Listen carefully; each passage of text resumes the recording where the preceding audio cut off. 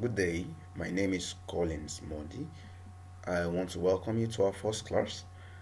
And um, in this class, we'll be learning how to navigate the simulations basis environment. We'll also be learning the importance of the simulation basis environment and um, how to add component list in Aspen HYSYS. Now, before we start, it's very important that you understand how to load your Aspen HYSYS icon. After the installation of Aspen HYSYS, all you need to do is to double click on the Aspen HYSYS icon on your desktop. And after that, it will take you straight to your Aspen HYSYS environment. Okay, just like every other software, you will see new and you see open. If you click on new, it means you want to start a new simulation case. If you're clicking on open, means you want to open an existing case. Now look at this, look at this space over here where you have the recent models. You're seeing a lot of things here because I've used it to do some projects. Now, but if it's a new, newly installed software, you won't see any of such, any of these items here.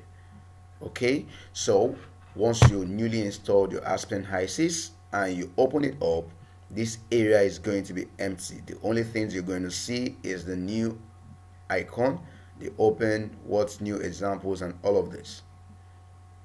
Having that at the back of your mind, I would like us to proceed to our simulation environment. So all I need to do is to double click on the new. It's going to take a few seconds before it takes us directly to simulation environment. Okay, we are here right now. All right, so in Aspen HYSYS, we have two interfaces. We have the prop uh, properties interface, which is also known as the simulation environment. And we have the simulation environment okay we have the properties package that's the simulation basis environment or the simulation basis manager and we'll have the simulation environment proper. Now the simulation basis environment this is where the foundation is laid.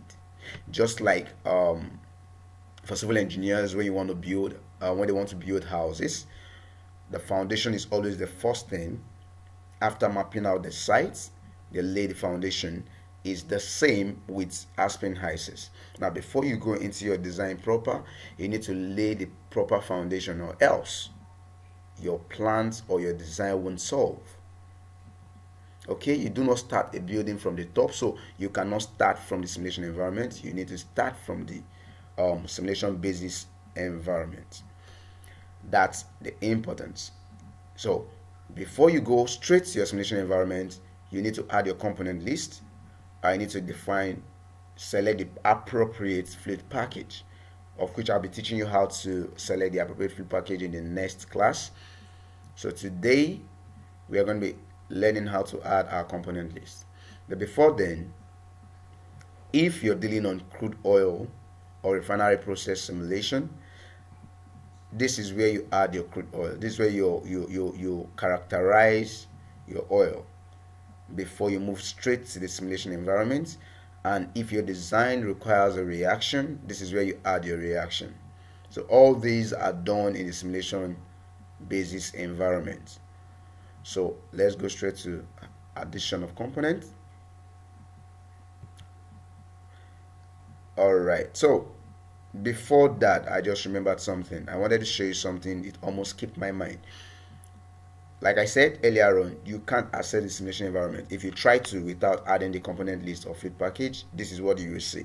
So when you click on simulation environment, it's going to bring out a message. Bring out a message telling you that you've not added your fluid package, you've not added your component list. So you won't have access to the simulation environment until all that is done. So look at this. This is a circle with a red mark showing you that you've not done anything on this, showing you that you've not added any component list. Once you add a component to this component list, the sign will change to this coloration. This is blue with a mark of white inside. okay? So once we've done with defining or adding components to this component list this will change to this. So all I need to do is to after highlighting component list is to click on add. Once I do that it will take me to the um, environment where I have to add my components. All right. Now if you check this you're going to see some stuffs you see select you see filter you see search for you see search by. I'm going to be taking them one after the other. Now if you're searching by you you, you search by um, full name of the company you're looking for the synonym or the formula. Now talking about filter under filter we have different types of families. We have the hydrocarbon family. You have the um, amine the alcohols the ketones aldehyde. You also have um, nitriles phenols and all of that. But all these are all they are all embedded in one particular family known as all families. So if i am say for example i'm working on a system that has to do with amines for example. Now under the amines i can't see carbon 4 oxide because carbon 4 oxide is not an amine right? So if i come to search for this is where you type the um, component you're looking for. If i type for carbon 4 oxide CO2 you see there is no component like that under the amine but if I click on if I click on all families if I click on all families and um, type CO2 it will take me to carbon 4 oxide all right so that's the essence of field um, the filter it helps you to select the appropriate family that you, that contains the components you're looking for.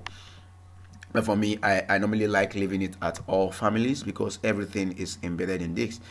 Okay so that's for filter. Now under select we have um, different types of components. We have pure components hypothetical components and hypothetical solid. Now for pure components pure components are everyday components components that you know the components on your periodic table and um, um, um organic um, components and all of that they are the components that are contained in the pure components. And in Aspen HYSYS, you have thousands of them. All right. So if you want to start scrolling down from the top to the bottom because you're searching for a component, it's going to be tedious. So that's why you have the search for to help you um, filter it out and give you the components you're looking for. So I'm going to teach you how to add a pure component. Then we'll go to hypothetical components. Are we together? Okay, so to add a pure component, all I need to do is to select the component. For example, if I want to add methane, I select methane and click on add. Okay, I've added methane. If you look at this, this has changed to blue, right? Because this component list has a minimum of one component. All right, so if I want to add um, series of components that are that are somehow connected connected in the sense that they follow each other. For example, ethane, propane, isobutane, and butane. Instead of adding them one after the other, all I need to do is to highlight, click on the first component, which is ethane, drag it down to where we have and n butane. Let's say I want to add from ethane to n butane, and I click on add. All right. So if I want to if I want to add um, uh, water, if I type H2O, it will give me water. If I type water, it will also bring out water. So it's highlighted. I click on add. Okay, so let me, we're done with this how, this is just how to add your pure components. Now let me show you how to add your hypothetical components. Hypo components are also known as pseudo components or false components. All right. Now, what are they used for? Most times when you run your analysis in the lab on a fluid, probably you want to find out the components contained in that fluid because I always tell you that no design can be successful without you knowing the composition of the fluid or the feed stream it is important you know what the feed stream contains, the components, the compositions of the components in the fluid stream.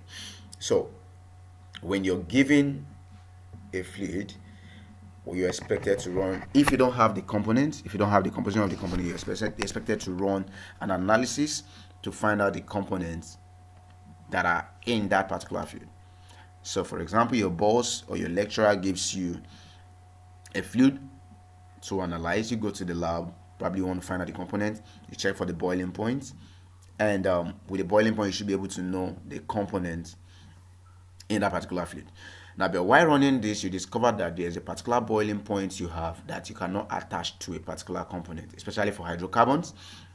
Now what you need to do you come straight to hypo components go to method click on create and edit hypo. You'll see new hypo click on new hypo. Now since you know the normal boiling point for example if it is 110 110 you discover that other properties are not known. All you knew or all you were able to get was the normal boiling point. HYSYS will help you calculate for the remaining um, components. So all I need to do is to click on estimate unknown.